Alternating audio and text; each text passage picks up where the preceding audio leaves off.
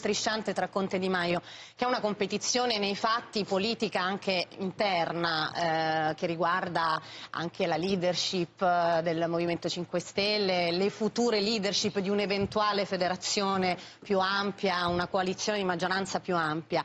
Eh, in realtà poi il tentativo di Di Maio ieri di eh, mh, distanziarsi sul documento firmato al Cairo era anche un assist al Premier Conte, perché era un ritorno alla difesa difesa del, eh, di mm, al-Serraj e quindi un tentativo di prendere le distanze da quella che era sembrata una sponda netta anche italiana ad Haftar.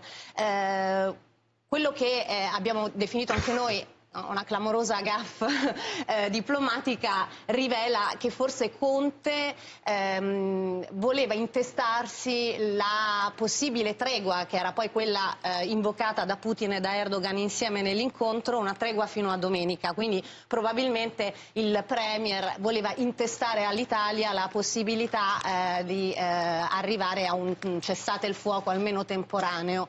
E oggi addirittura c'è, una, oggi c'è il Fatto Quotidiano che è l'unico giornale che parla addirittura di un inserimento da parte della Francia in questa fase e che sostanzialmente eh, le mosse eh, di, di Conte hanno fatto sì che dall'altra parte invece Macron abbia da questo punto di vista, ripeto, è l'unico giornale che eh, parla insomma, di, di, di, questa cosa, abbia bloccato questa operazione. E vado da eh, Francesco Borgonova invece... La Francia non è in contatto con Serrage. Cioè, non capisco questa no. deduzione. No, no, io lo citavo per ovviamente... No, no, però la polvere, eh, fa parte della polvere che si alza in questo caso. Invece vado da Borgonova.